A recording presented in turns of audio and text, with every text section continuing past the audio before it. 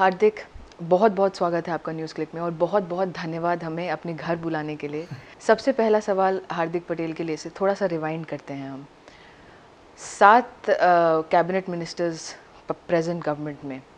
Deputy chief minister 44 out of 120 twenty Patel community से आते हैं। एक बहुत बड़ा कटाक्ष आपके आंदोलन का ये रहा कि बड़ी बड़ी गाड़ियों गाड़ियों से पटीदार समाज के लोग निकले और उन्होंने उन्होंने प्रोटेस्ट किया बैकवर्ड कम्युनिटी के स्टेटस के लिए। बहुत सारे लोगों के हलक से ये बात अभी तक उतरी नहीं है। देखो 25 लाख लोग निकले थे तो शायद 100 गाड़ियाँ लग्जरीस होगी उसके अंदर। मतलब 100 गाड़ी वाले से हम ये नहीं कह सकते कि पूरा एक करोड़ बीस लाख पाटीदार समाज समृद्ध है। दूसरी बात कि संविधान ने, और जब साहू जी महाराज ने आरक्षण की स्थापना की तो उन्होंने कहा था जिसकी जितनी संख्या भारी उसको इतनी भागीदारी मतलब जिसके देश के अंदर जितनी संख्या है, उसको इतनी भागीदारी मिलनी चाहिए। सूरत के अंदर अगर पाँच प्रतिशत कोई डायमंड का बड़ा व्यापारी है या फिर चार करोड़ का कोई मोदी का सूट लेता है तो उससे ये नहीं कहते कि गाँव वाला भी पटेल पूरी तरह से समृद्ध है। अगर देश के बारह राज्यों के अंदर अगर पाटीदार समाज मतलब पटेल, कुर्मी, गुज्जर, मराठा, अगर ओबीसी के अंदर है तो गुजरात का पटेल ही क्यों नहीं? अगर 1954 के अंदर काका कालरेकर साहब का जो कमीशन बना था और उसके अंदर पटेलों को उन्होंने ओबीसी के अंदर स्थापित किया था। तो उसके बाद, मान लो उस टाइम था ऐसा कि ज़मीनें थी, उसके बाद बंटवारे हुए तो उस उस ज़माने के हमारे दादाओं ने ओबीसी को स्वीकार नहीं किया। लेकिन अभी ज़रूरत पड़ी क्योंकि समाज के अंदर बेरोज़गारी हो रही है सबसे ज़्यादा। ज़मीन के बंटवारे हो रही है। अगर ज़मीनें है तो ज़मीन प्राइवेट सेक्टर को दी जा रही है, पानी नहीं मिल रहा, बिजली नहीं है। अगर गवर्नमेंट कहती है और आप भी कहते हैं कि अगर आंदोलन गलत है तो दस प्रतिशत ई क्यों मिला था। देखिए, आपने जो समृद्धि की बात की और आपने जो कहा कि जिसकी जितनी संख्या, उसका उतना रिप्रेजेंटेशन तो संख्या और रिप्रेजेंटेशन तो कुछ इस प्रकार भी है कि जितना डायमंड का ट्रेड है और अधिकतर टेक्सटाइल्स का ट्रेड पटेलों के हाथ में वन फोर्थ यूनाइटेड स्टेट्स में जितने मोटेल्स हैं, सारे पटेल, गुजरात के पटेल, हरियाणा के पटेल यूपी के पटेल, बिहार के पटेल नहीं, गुजरात के पटेल उनको ओन करते हैं। तो पहली बात कि वो सब लोग गए, वो अपनी मेहनत से वहाँ पर गए। दूसरी बात कि हमारा जो आरक्षण का मांग है, वो कोई तेल लेने के लिए, कोई कार्यशील लेने के लिए, या फिर कोई गेहूँ के लिए बात नहीं कर रहे हैं। हम जॉब और एजुकेशन मतलब रोज़गार और शिक्षा के आधार पर हम मांग रहे हैं। मूलतः रूप से आपको एजुकेशन के लिए रिजर्वेशन का डिमांड आपने उठाया। एक बहुत बड़ा क्रिटिसिज्म गुजरात के इकोनॉमिक मॉडल का ये भी है कि एजुकेशन में इंग्लिश का रिप्रेजेंटेशन लैंग्वेज का रिप्रेजेंटेशन बहुत वीक है। उसके बारे में आपका क्या कहना है? तो पहली बात कि गुजरात के अंदर अगर एक वक्त पे मतलब चिमन भाई की गवर्नमेंट में 1991 के अंदर यहाँ पर एजुकेशन पूरी तरह से हाई था। उसके बाद धीरे धीरे कम होता गया है। यहाँ पर मोदी गवर्नमेंट के वक्त कुछ ऐसा लाया गया था कि सातवीं कक्षा तक लोगों को ऐसे ही पास कर दिया जाए। मतलब उसे फेल नहीं करना है। वो आता है नहीं, आता वो मतलब नहीं रखता। सरकारी स्कूल के अंदर उसको पास ही कर देना चाहिए। यहाँ पर क्या ही ना कहीं। सबसे ज़्यादा प्राइवेट स्कूल यहाँ पर हो गई। है सरकारी स्कूल के अंदर टीचर है नहीं। सरकारी स्कूल के अंदर टीचरों की भर्ती की नहीं जाती। तो कहीं ना कहीं शिक्षा को यहाँ पर मार दिया गया है इसलिए क्योंकि प्राइवेट सेक्टर के अंदर वही एम एल या मिनिस्टर की भागीदारी है। डोनेशन से पैसे कमाए जा रहे हैं इसीलिए हम आरक्षण के सबसे मांग यही कह रहे हैं। लेकिन एक पूरे जनरेशन ने तो इस तरीके की पॉलिसी को सफ़र किया है। हाँ बिल्कुल। और शायद आप भी उस जनरेशन का हिस्सा बिल्कुल मैंने हमारे यहाँ तो मान लो कि पाँच सात के बाद तो इंग्लिश शुरू हुआ है। गाँव के अंदर तो आज भी कोई इंग्लिश मीडियम समझ में नहीं आता। और मैं इस, वही बात कर कि आज मान लो कि मेरे अंकल या फिर मेरे भाभी की उम्र के लोग जो गाँव में रहते, वो अपने बेटी की, बेटे बेटे की पढ़ाई के लिए सिटी में आ जाते, क्योंकि उसको, अब वो चाहते कि मेरा बेटा इंग्लिश में पढ़े। और वो यहाँ कर आते हैं, लेकिन उनके पास होते दो तीन बीघा ज़मीन, वो बेच कर यहाँ पर आते हैं। अगर उन्होंने अपने बेटे को इंग्लिश मीडियम में बारह तक पढ़ाया, बारह के बाद कॉलेज करवाई कॉलेज के बाद डिग्री करवाई, और उसके बाद पूरा जो पैसा है, वो ज़मीन बेच कर वहाँ डाल दिए जब एजुकेशन ख़त्म बाद जॉब की बात आती है तो फिर भी पच्चीस लाख मांग, मांगते हैं। तब जाके उनके अंदर की जो दुख होता है यार इतने पैसे खर्च कर कर उसको पढ़ाया, लिखाया। अब साले डोनेशन मांग रहे हैं जॉब के लिए। तब जाके जॉब नहीं मिलती तो जाकर वो प्राइवेट सेक्टर के अंदर जॉब करता है, पंद्रह बीस हज़ार रुपये के अंदर, लेकिन खर्चा हुआ एक करोड़ उसको पढ़ाने के लिए सबके। तो ये लोग अंदर से दर्द है। एक करोड़ रुपये यहाँ पर एमबीबीएस का डोनेशन चल रहा है। तो अभी तो ज़्यादा दो करोड़ पहुँच गया है। अगर एक चपरासी की जॉब के लिए अगर कोई रिक्वायरमेंट करता है उसके अंदर डालता है तो पच्चीस लाख रुपये है उसके यहाँ पर। रेट ही चलते हैं। पुलिस इंस्पेक्टर के लिए पचास लाख पुलिस सब इंस्पेक्टर के लिए पच्चीस लाख कांस्टेबल के लिए पंद्रह लाख। तो ये सारी परिस्थिति यहाँ को हमारे यहाँ पर भ्रष्टाचार इतना ज़्यादा है कि उसकी बात ही छोड़ दो। भ्रष्टाचार के अलावा यहाँ पर कुछ नहीं होता। हाँ। बिल्कुल साइलेंट करप्शन है यहाँ। किसी को दिखाई नहीं देता कि यहाँ पर करप्शन हो रहा है। साइलेंट पूरी तरह से शांत तरीके किसी को पता भी नहीं चले। उस तरह से यहाँ पर करप्शन होता है। और लोग बोलते भी नहीं क्योंकि यहाँ पर लोग बोलते नहीं, इसलिए लोग गुंगा कहते हैं उनको। और हमारे जैसे लोग बोले तो देशद्रोही बोल दिया गया। मतलब यहाँ पर लोगों को आदत पड़ गई, इसलिए आदत पड़ गई, क्योंकि उनके लिए लड़ने वाला कोई नहीं जो कोई लड़ता है उसको दबाया जाता है कि मुकदमे की दादागिरी दिखाकर उसको बिठाया जाता है, पुलिस अधिकारियों की दादागिरी दिखाकर बिठाया दिया जाता है, या फिर कुछ बिज़नेस वगैरह हो तो रेड इनकम टैक्स वगैरह करके बिठाया जाता है। पहली बार हम लोग निकले, ना कुछ है, ना इनकम टैक्स वाला, ना कोई पुलिस वाला हमारे पीछे आएगा। तो चलता है और अब मुझे लगता है गुजरात की जनता जागरूक हो गई है। तो सबसे पहले आरक्षण के मुद्दे पर हम पूरी तरह से सही और शिक्षा की बात तो शिक्षा की बात में कहीं ना कहीं मैं मानता हूँ। अब फिर भी थोड़ा थोड़ा शुरू हुआ है कि छोटे जो के और के से इंग्लिश का भी यहाँ पर शिक्षा दिया है लेकिन सरकारी स्कूलों के अंदर अभी भी नहीं है। अच्छा एक आ, समझ आ, पटेलों को लेकर ये रही है मेन स्ट्रीम आ, में कि धंधा ज़्यादा ज़रूरी है इसीलिए एजुकेशन को लेकर और नौकरी को लेकर उतना कॉन्शियसनेस बच्चों में और परिवारों में नहीं डाला जाता और ये नई डिमांड है। रिजर्वेशन जॉब के अंदर चाहिए। यहाँ बिल्कुल बिज़नेस माइंड है पटेल यहाँ पर कि बेटे को क्योंकि इसलिए है क्योंकि पिछले पंद्रह साल से पटेलों को रोज़गार गवर्नमेंट के अंदर मिला ही नहीं। हो गया? आज भी आप आरटीआई के आधार पर देख सकते हैं कि कम माइनर लोग जो गवर्नमेंट के अंदर हो गए क्योंकि आरक्षण की वजह से जॉब मिल नहीं रही। बिज़नेस प्राइवेट पैसे मतलब ज़मीन बेचकर सूरत के अंदर या अहमदाबाद के अंदर डायमंड यार साड़ी का जो लुम्स का बिज़नेस होता है वो सब लोग करते हैं। तो चवालीस एम हैं लेकिन रिप्रेजेंटेशन ज़्यादा नहीं मिल रहा है पटेलों को गवर्नमेंट के अंडर। देखो जॉब के अंदर तो नहीं है जिसकी जितनी संख्यादारी, उसको इतनी भागीदारी प्रशासन में भी है, ज़मींदारी में भी है, पैसों में भी है, शिक्षा में भी है, रोज़गारों में भी है, हर जगह है।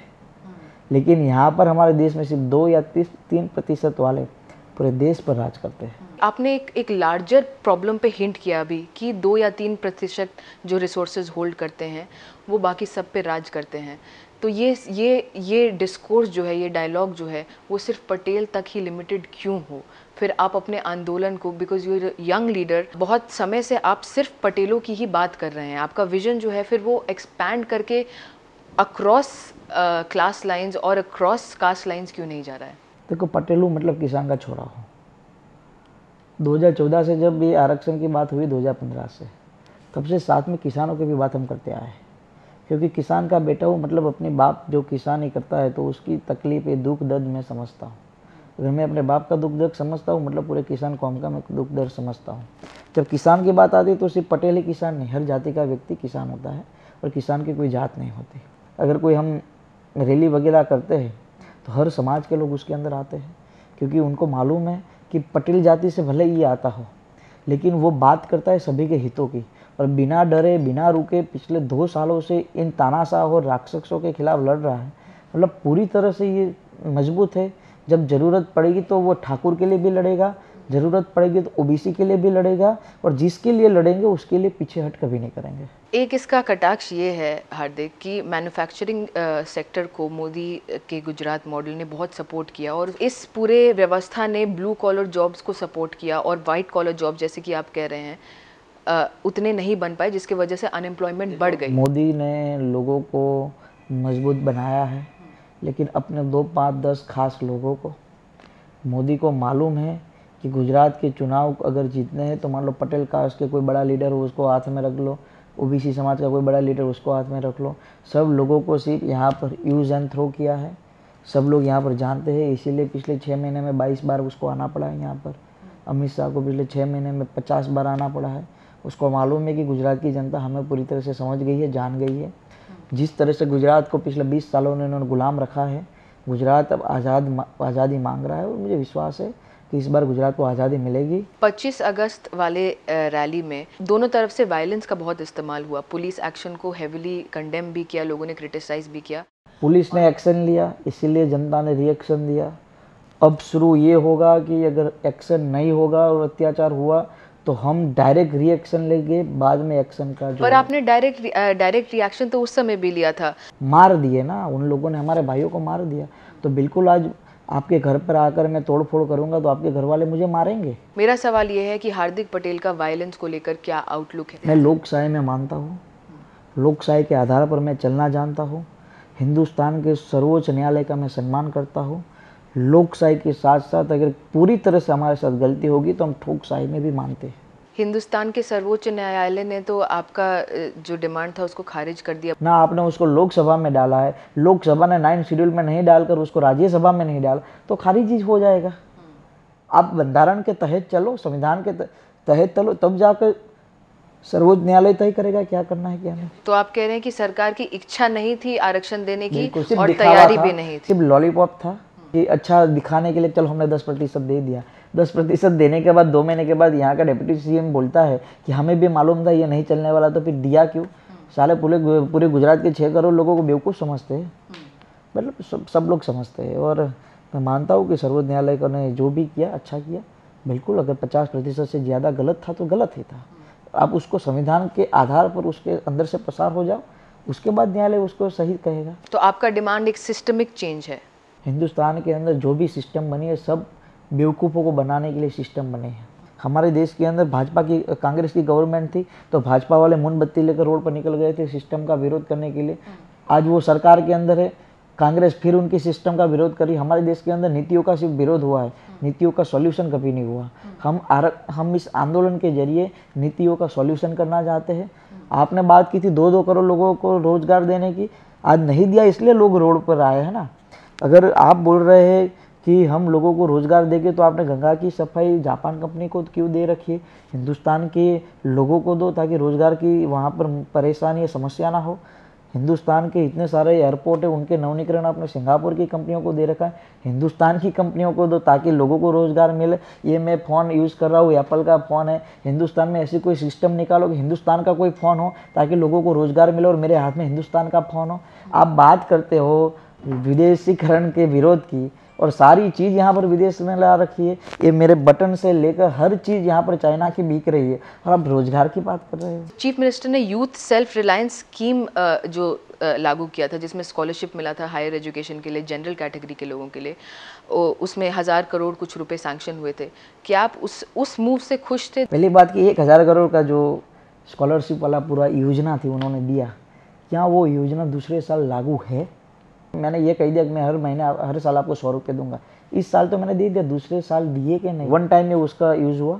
दूसरी बात, कितने लोगों को पूछो कि वो एक हज़ार करोड़ से कितने लोगों को फ़ायदा हुआ? हंड्रेड परसेंट मैं कहूँगा, पूरे सवर्ण समाज को फ़ायदा हुआ है।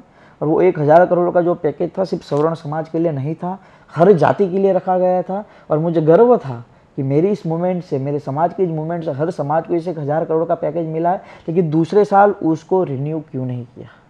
बहुत सारे कॉन्स्पिरसी थ्योरिस्ट्स हैं जो बोलते हैं कि हार्दिक पटेल का जो मूवमेंट है, वो आरक्षण के लिए, पटेल समाज के आरक्षण के लिए नहीं है एक्चुअली आरक्षण सिस्टम को ख़त्म करने के लिए है, जिसको आरएसएस भी सपोर्ट करता है। आपके मूवमेंट के ठीक कुछ दिनों बाद मोहन भागवत ने भी बोला कि इस मूवमेंट की वजह से इसको नए नज़रिए से देखना पड़ेगा।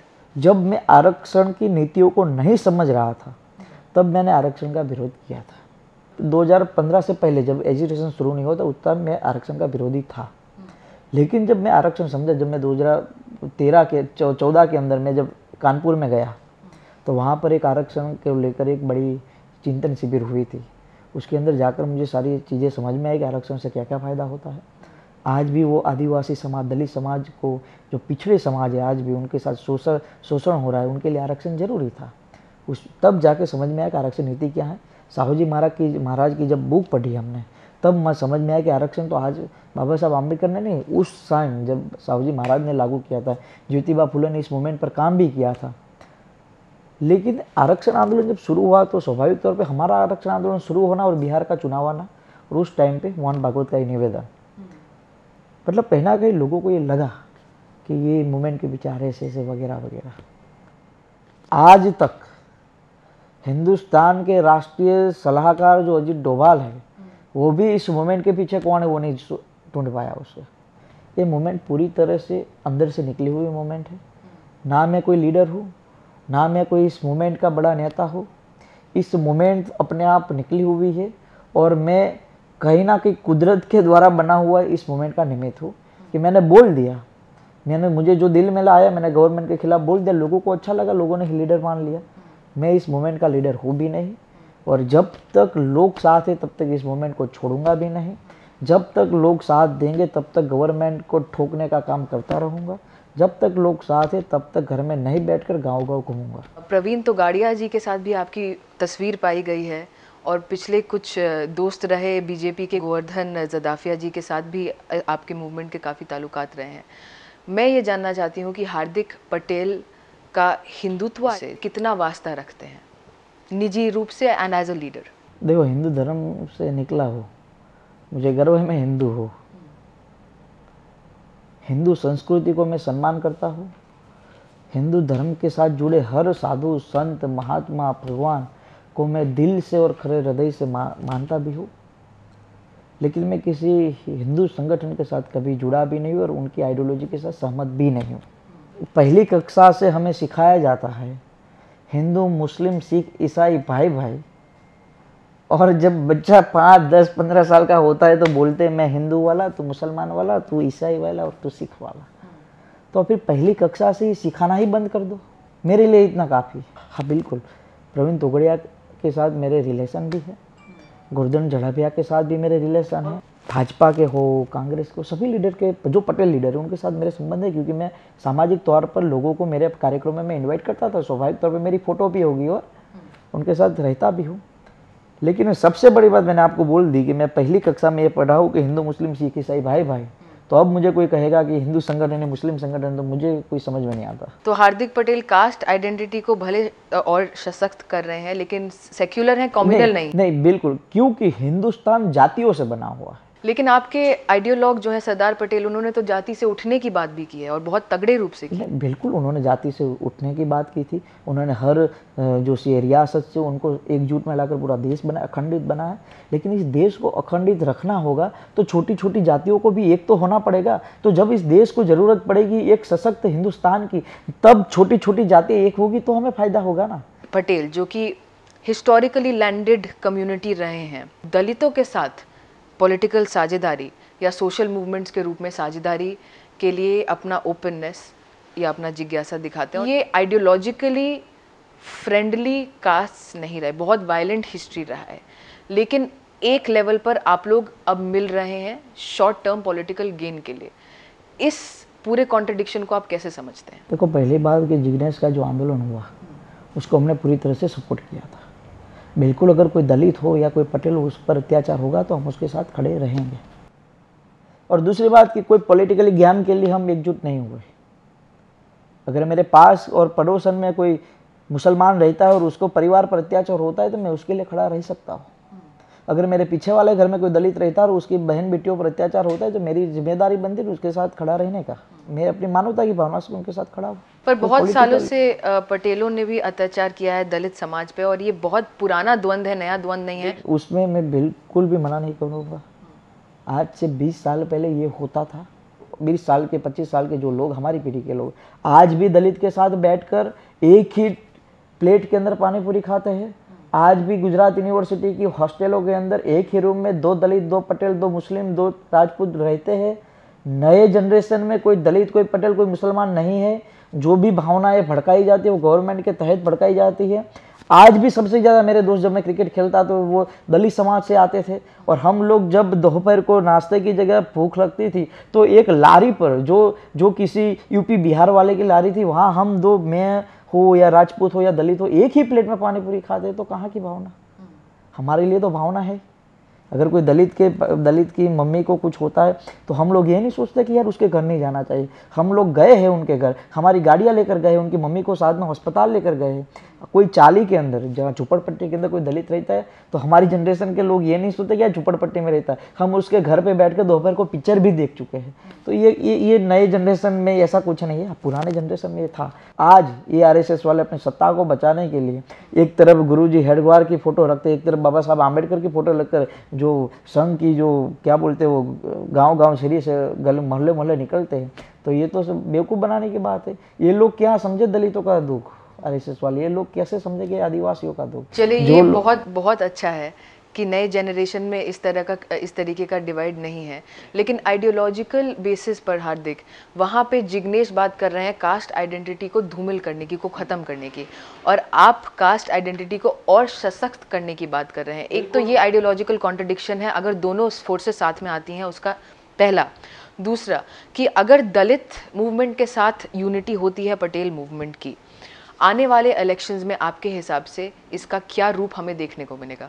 जब लड़ाई की बात आती है तो मान लो, मैं मानता हूँ कि जिग्नेश की बात अलग होगी, मेरी आइडियोलॉजी अलग होगी, भाजपा की अलग है, कांग्रेस की अलग है। लेकिन मैं आज भी कहता हूँ, हर समाज को मज़बूत होना पड़ेगा, चाहे मेरा समाज हो, चाहे दलित समाज हो, और सब समाज साथ मिलकर लड़ेंगे। लेकिन जब पॉलिटिकली आपने कहा कि जब साथ मिलकर कैसे लड़ोगे तो वक्त आने पर सब देखा जाएगा। अभी कोई ब्लूप्रिंट तय नहीं है इस चीज़ को लेकर। ब्लूप्रिंट तो बहुत सारी है। लेकिन मैं कोई पॉलिटिकली हूँ नहीं तो मुझे ब्लूप्रिंट लोगों को समझानी पड़ेगी। क्योंकि मैं क्या बोलते एक तरीके से हिंदुस्तान के अंदर जो भी ब्लूप्रिंट बनी है हिंदुस्तानियों के लिए कभी नहीं बनी। और मेरे पास वो ब्लूप्रिंट होगी जिस दिन मैं रहूँगा वो हिंदुस्तान के लिए होगी। तो गुजरात इलेक्शन से पहले वो ब्लूप्रिंट दिखेगा हमें या नहीं? अगर इस रावण को मारना है तो ये उसकी ना भी है पहले यहाँ मारेंगे तो हंड्रेड परसेंट रावण मरेगा। उसके बाद अपने आप ब्लू लोगों के समक्ष आ जाएगा। गुजरात से बाहर हार्दिक पटेल का क्या रोल है जब हार्दिक पटेल नीतीश से मिलने जाते हैं और उसके और बहुत ही एक फ्रूटफुल मीटिंग आपने कहा वो रही ऑपोजिशन यूनिटी को लेकर आप क्या सोचते हैं? और क्या आप उसमें एक कोई कोई रोल प्ले करेंगे गुजरात इलेक्शन से पहले? गुजरात के बाहर एमपी राजस्थान महाराष्ट्र उत्तर प्रदेश बिहार। हरियाणा के अंदर हमारा पूरी तरह से मज़बूत टीम वर्कर्स सब कुछ है। नीतीश कुमार की जहाँ तक बात है, वो एक प्रदेश के मुख्यमंत्री है, बिल्कुल मैं मानता हूँ और एक अच्छे लीडर भी इस देश के अंदर, एक नॉट करप्टेड लोगों के दिलों में पूरी तरह से बैठने वाले एक आदमी है। मैं उनको सिर्फ़ गुजरात के आरक्षण आंदोलन में उनका समर्थन था, इसलिए उनको मिलने गया था। देश के तहत, देश के अंदर अगर कुछ अच्छा करना है तो साथ मिलना पड़ेगा। किसी भी पार्टी चाहे ममता दीदी की पार्टी हो चाहे अवश्य की पार्टी हो चाहे उद्धव जी हो चाहे नीतीश कुमार हो चाहे चौटाला हो तो बीजेपी को। खत्म करने के लिए किसी भी तरह की यूनिटी ऑपोजिशन यूनिटी मैं बीजेपी को खत्म करने की बात आज तक नहीं कर रहा। मैं बीजेपी के साथ हो रहे बीजेपी के साथ जो राक्षस पैदा हुआ है उस राक्षस को ख़त्म करने की मैं बात करता हूँ। मैंने आज तक कभी डॉक्टर श्यामा प्रसाद मुखर्जी का नाम नहीं लिया अपने मुँह से कि वो ऐसे थे वैसे थे। मैंने कभी अटल बिहारी वाजपेयी का नाम नहीं लिया। मैंने कभी बीजेपी का उस तरह से विरोध लेकिन नरेंद्र मोदी का नाम लिया मैंने वही तो राक्षस और तानाशाह और हिटलर को मारने के लिए उसके खिलाफ लड़ने के लिए किसी भी हद तक जाएँगे और मजबूताई से लड़ेंगे। कांग्रेस पार्टी को हार्दिक पटेल सपोर्ट करेंगे गुजरात इलेक्शंस में या नहीं? कांग्रेस पार्टी हार्दिक पटेल को सपोर्ट करेगी या नहीं? चलिए आप बताइए करेगी या नहीं? अगर कांग्रेस पार्टी पाटीदार समाज को सपोर्ट करेगी अगर कांग्रेस पार्टी गुजरात के किसानों को सपोर्ट करेगी अगर कांग्रेस पार्टी गुजरात की अस्मिता को बचाने के लिए सपोर्ट करेगी अगर कांग्रेस पार्टी गुजरात में युवाओं को रोज़गार दिलाने में काम करेगी तब जाकर हार्दिक पटेल उनको सपोर्ट करेगा। हार्दिक पटेल युवा नेता जिनके एक कॉल पर पूरी कम्युनिटी इकट्ठा हो जाती है, पूरी पूरी जमात इकट्ठा हो जाती है, वो अपने फ्री टाइम में क्या करते हैं? अपने आप को रिफ़्रेश करने के लिए क्या करते हैं? एक वीक में दो दिन फ्री होते हैं। ऐसे कि जब कोर्ट वगैरह का काम होता है तो सभा वगैरह नहीं रखते। तो क्रिकेट खेलते क्रिकेट में अंडर नाइनटीन खिलाड़ी रहा हूँ बड़ोड़ा क्रिकेट एसोसिएशन से। तो आज भी क्रिकेट खेलने का शौक है आज भी क्रिकेट में कुछ नया सीखने का शौक होता है। तो एक समय था कि सचिन बनने का सपना लेकर घूमते थे। वक्त आने पर नहीं हुआ नो डाउट क्रिकेट अच्छा खेलते हैं तो क्रिकेट खेलते रहते हैं। आखिरी सवाल ये कि आज से दस साल पंद्रह साल बाद आप अपने आप को कहाँ देखते हैं? देखो मैं कुछ लंबा सोचकर आप तक चला नहीं हूँ। और मुझे लगता भी नहीं कि मेरे आयुष्य कोई लंबी हो। क्योंकि ऐसे लोगों को सामने लड़ते हैं तो सुबह से निकलते तो पापा को एक बार बोलते कि पापा कुछ काम हो तो इन लोगों के साथ बातचीत कर लेना। क्योंकि जिनके सामने लड़ते वो कभी भी कुछ भी कर सकते हैं और उन्होंने गुजरात में आज तक किया भी है, चाहे वो हरन पंड्या से लेकर कौन मिनिस्टर हो। लेकिन अगर कुछ अच्छा होगा तो मैं मानता हूँ कि मेरे हिंदुस्तान को विश्वगुरु बनाने का एक सपना है। हिंदुस्तान में कोई बेरोजगार ना रहे, हिंदुस्तान के अंदर कोई किसान आत्महत्या ना करे। हिंदुस्तान के अंदर महिलाओं को पूरी तरह से सुरक्षित देखा जाए हिंदुस्तान की आर्मी पर कोई हमला ना कर दे चाहे वो शिव भक्त बाबा बाबा के भक्त जो अमरनाथ जाते हुए हो उन पर भी नहीं। बहुत बहुत धन्यवाद हार्दिक बहुत बहुत धन्यवाद हमसे बात करने के लिए।